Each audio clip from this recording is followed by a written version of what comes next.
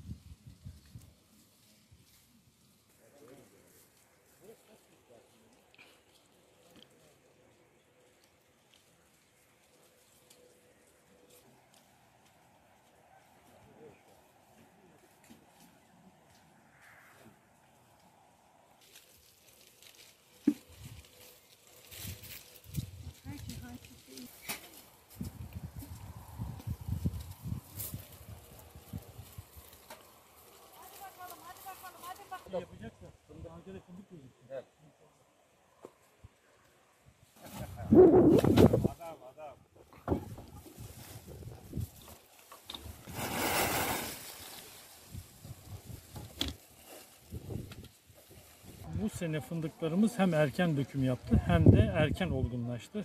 Bir de havaların aşırı sıcak gitmesi sebebiyle e, bir kısım bizim sarı fındık dediğimiz, hava dediğimiz fındıklar kavruldu. Artık bundan sonra gelişimini tamamlar. Bundan sonra yağmur yağdı ama tabii bu son yağan yağmur biraz e, çok fazla faydası olmaz. Onun için baktık fındık olgunlaşmış biz de toplamaya başladık. Sene çok şükür rekolte çok iyi. İyi gözüküyor yani bizim ovada. e, en azından bizim fındığımız ova fındığı. E, yani dekarda aşağı yukarı 200 kilo civarında falan alınır diye düşünüyorum. Peki e, geçen senelere nazaran ne kadar önce başladınız? E, bir hafta kadar.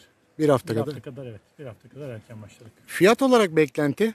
Fiyat olarak beklentimiz geçen sene 120 civarında falandı. İşte bu sene de enflasyon oranına bakarsak 120-150 arasında bir rakam. Tabii her zaman olduğu gibi fındık rekoltesi yüksek olduğu için fındığın aynı oranda enflasyon oran- oranında artmasını beklemiyoruz ama eee inşallah bakalım iyi bir fiyat bekliyoruz. Yani.